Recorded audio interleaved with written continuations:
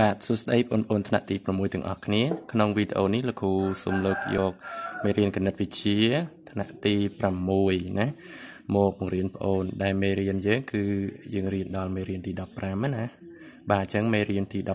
15ការបូកចំនួនចម្រោះបាទអញ្ចឹង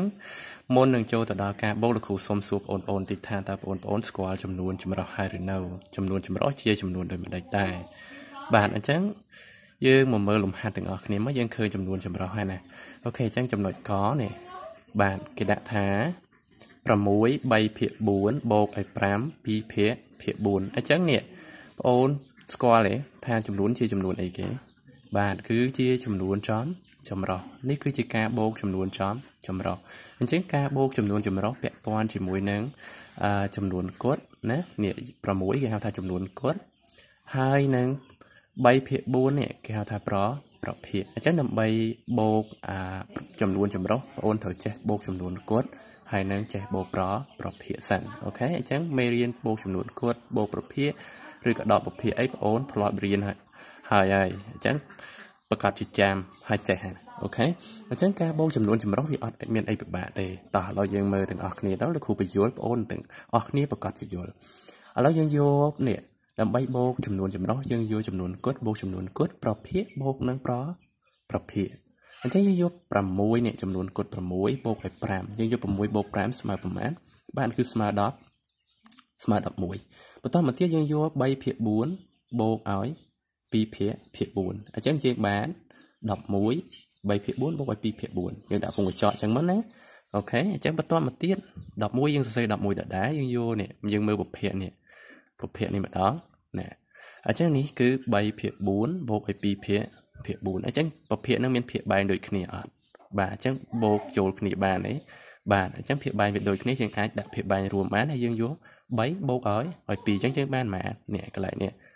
បាទអញ្ចឹងយើងបន្តមកទៀតយើងបានចេះអូខេអញ្ចឹងចម្លើយគឺ11គឺ11ដដែល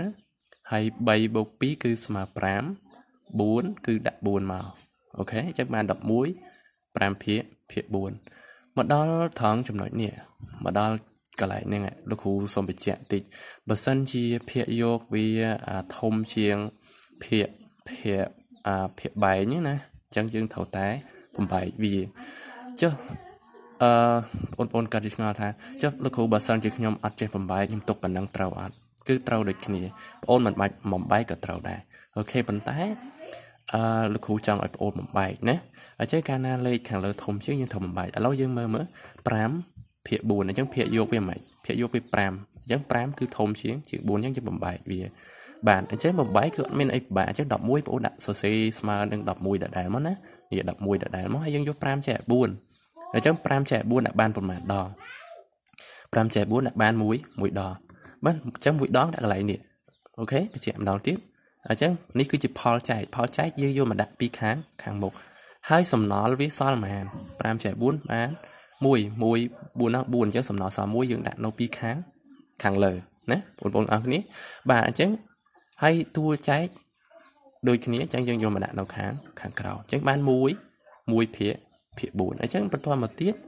យើងយក11បូកឲ្យ1មកយើងបាន